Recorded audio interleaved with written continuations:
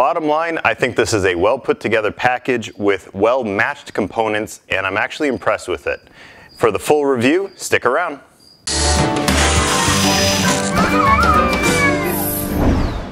Hello everybody, I'm David. Welcome to my channel where I like to do DIY projects that are renewable energy and energy efficiency. In this video, I'm reviewing this Bluetti 240 from Maxoak.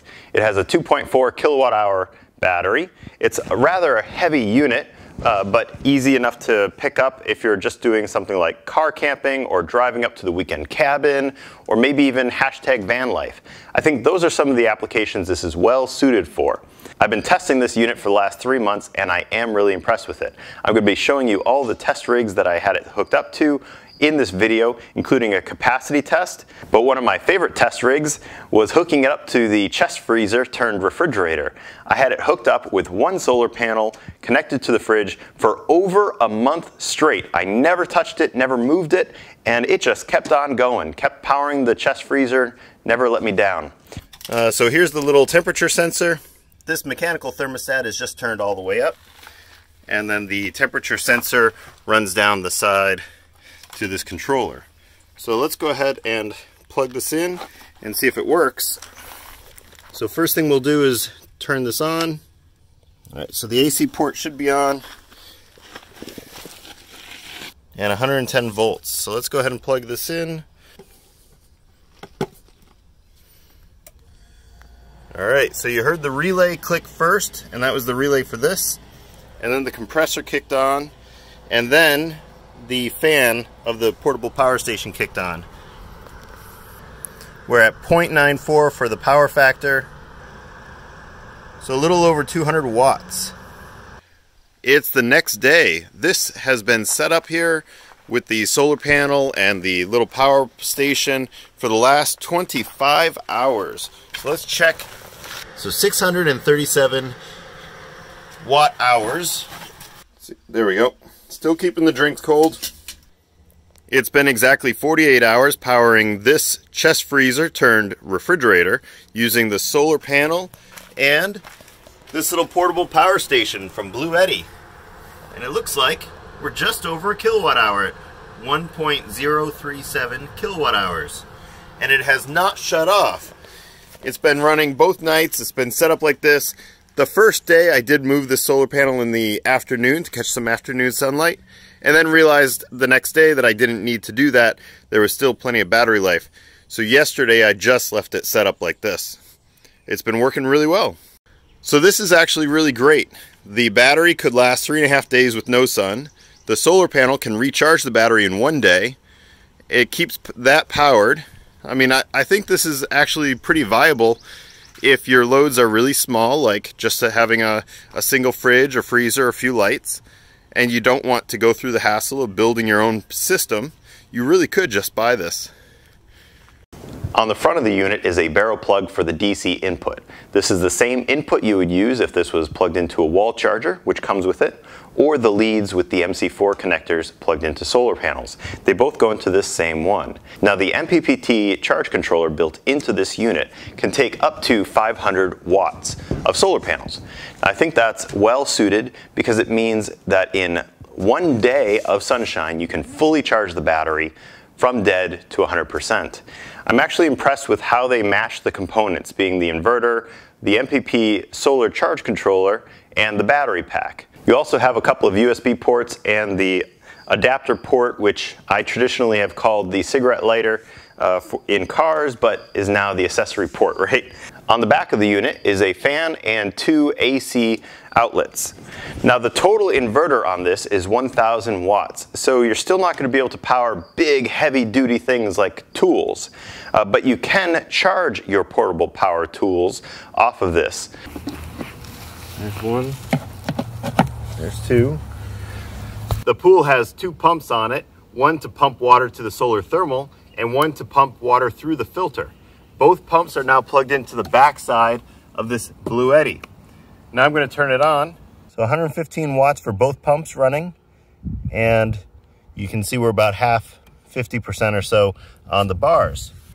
Now I'm plugging in the solar panel. These are with MC4 connections. There we go. and we'll plug this in.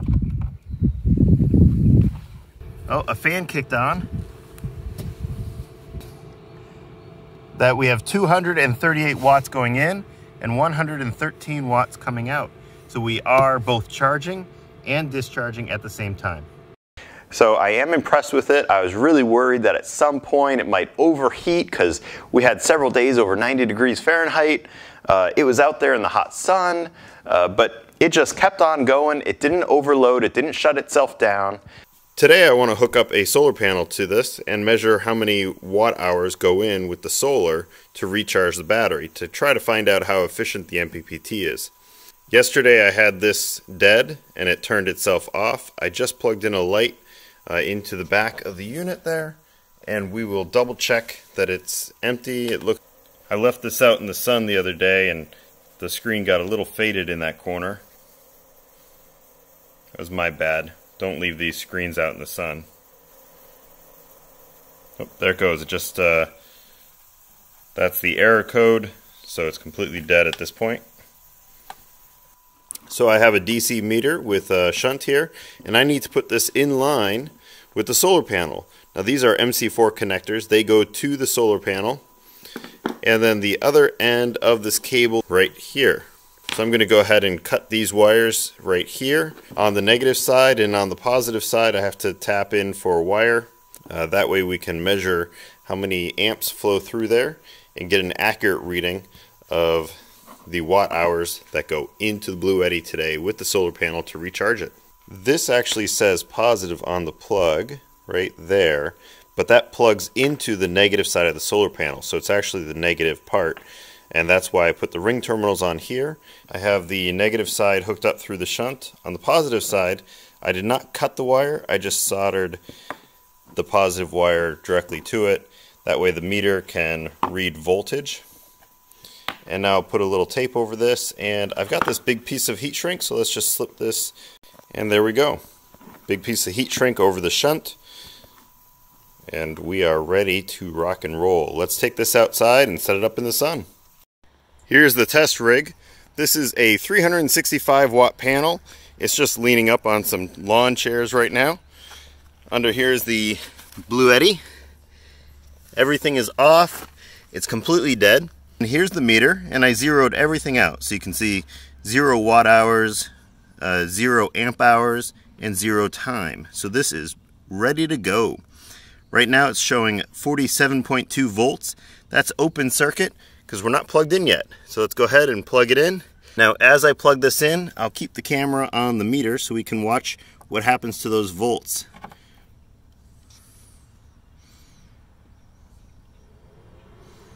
Oh, and I just heard the fan kick on for the Bluetti.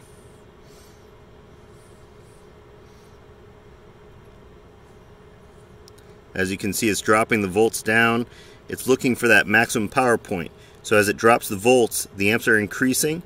And when the computer sees it go the other way and total watts go down, then it knows it's found its point. Now different MPPT chargers can do this faster than others. And it says we're charging it at 173 watts. And on this meter it says 165 watts. Okay, it's the end of the day and we are done charging the portable power station. Now this is the 240, so it's supposed to have a 2.4 kilowatt hour battery pack in it. And the solar panel is currently facing southwest. I've been moving it throughout the day. This says zero on it, so it's not taking in anything else from the solar panels, so it must be full. And this says 2.35 kilowatt hours over the last eight hours of runtime. So that's awesome. So we're all done here. Take that, and it automatically turns off. I never actually turned it on because I wasn't powering anything. I just wanted to charge the battery. So now we'll take this inside the garage and do some more testing with it.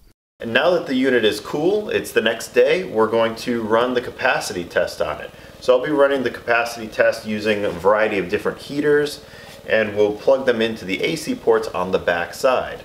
In order to measure that, I'll be using one of these little uh, watt meters. Now because this is a 2.4 kilowatt hour battery and we like to test batteries over the course of a five hour discharge, I'm going to be looking for about a 480 watt load on the battery. Now the inverter is built in, so I can't actually measure it at the battery source. That's, that's why we're gonna be measuring it at the AC side. Because we'll have some inverter losses, I will be looking for something around 450 watts as I start plugging in loads. Gotta hold it down for three seconds.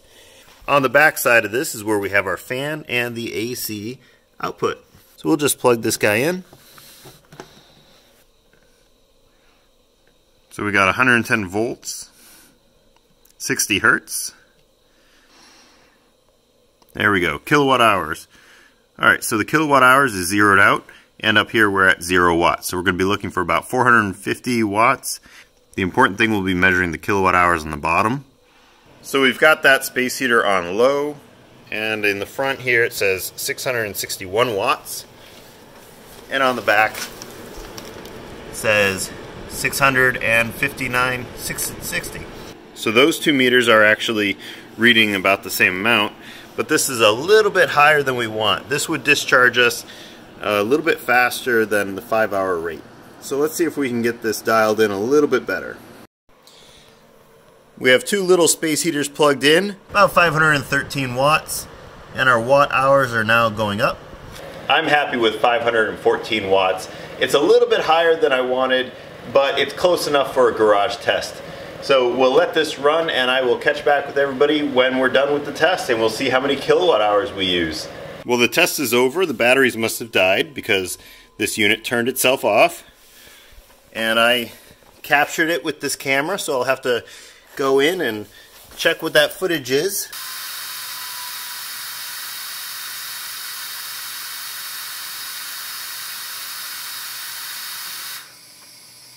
Here are some of the numbers I was able to calculate. Now the manual said that the inverter is going to be 88% efficient or better, and it said that the MPPT charge controller could be up to 99% efficient. But I wanted to test that. Now I had to infer a couple of numbers uh, through calculation. They probably programmed the BMS to allow us to use 90% of that, which is very common to leave that last 10% in the battery, which will uh, keep you from just killing the battery super quick. All right, next I'm going to try running my window air conditioner. It is a 5000 BTU window AC, draws a little bit more than 400 watts when running, but the surge on compressors can often overload these types of inverters. So I have the window AC plugged in through this 25 foot extension cord. It's up there in the wall. so let's go ahead and turn this unit on. I'm going to turn on that window AC. I, hear, I heard it click on and it's running. Now it's just running the fan right now. So let's uh, go ahead and check the front here. Right now it's running 67 watts on the front display. The compressor hasn't kicked on yet. So when that compressor kicks on, we're going to see if it overloads and trips this inverter. Oh, darn. Oh. Couldn't quite make it. It just turned the fan on again. So the unit automatically reset after it overloaded. And it overloaded again. Alright, go ahead and turn this off. Alright, well we've got the oscilloscope up and it's plugged into the back of the unit here with these probes. Now I do have the probe set to 10 times, so it says 10 times on the probe, so I think that's correct. But if we stop this sine wave and please let me know in the comments below if you think this qualifies as a pure sine wave or not. Thank you everybody very much for watching the video. If you enjoyed it, please like, subscribe, comment, share, and you can check out the link in the description below if you'd like to check these out on Amazon.